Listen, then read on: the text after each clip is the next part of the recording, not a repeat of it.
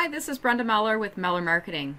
This video will explain to you the process and steps to request a LinkedIn recommendation. Recommendations are excellent tools to help create social proof. What this means is that people believe more what others say about you than what you say about yourself. So let's get started.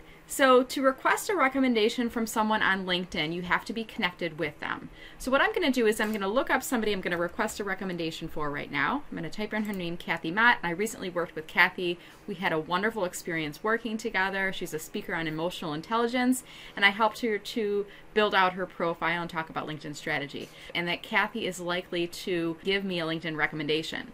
So I can see next to her profile first designates that we're connected. So what I do now is I click on the More button and then I click on where it says Request a Recommendation. Now, LinkedIn's going to ask me relationship, and I would say Cathy was a client of mine, my position at the time, Chief Engagement Officer at Meller Marketing, and then I click on Next, and LinkedIn gives you some starting text in here, but what I would recommend is put a bit more context in here. Hi, Cathy. Could you write me a recommendation? Specifically, could you speak to my expertise of helping you to optimize your LinkedIn profile and provide you with LinkedIn strategy training? Now I'm explaining the why. As I am expanding my LinkedIn training business, recommendations from speakers like you can help. Thank you for your consideration of this request, Brenda Meller.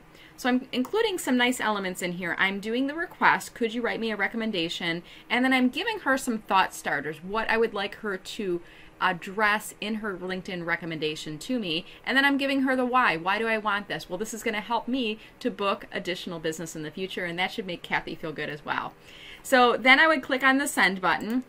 And the next time Cathy logs into her LinkedIn, she would see in her messaging a request from me. So the process comes from within LinkedIn. The other thing I would suggest is that you reach out to the person off of LinkedIn, whether it's by text message or email, and give them a heads up and say, hey, I'd like to ask you to give me a LinkedIn recommendation. I'm going to request it through LinkedIn. And recommendations are really awesome because the thing is, they sit on your profile and they will sit on that person's profile as well. So you can see here when I scroll down to Cathy's recommendation section, I can see recommendations that Cathy has been given from people in her network, and people say nice things about her training, and this is helping to build her business. This has been Brenda Meller with today's LinkedIn strategy tip, and this tip involves how to request a recommendation from someone on LinkedIn.